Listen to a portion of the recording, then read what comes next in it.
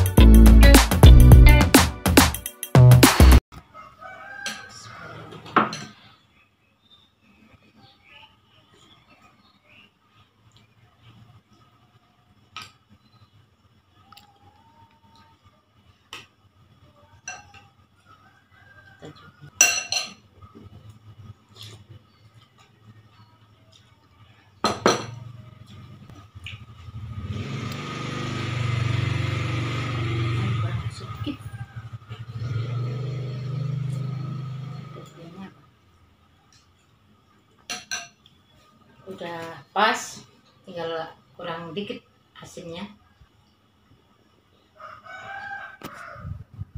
togenya masih renyah. Bawang gorengnya berasa. Gorengnya berasa. Kurang asin dikit dong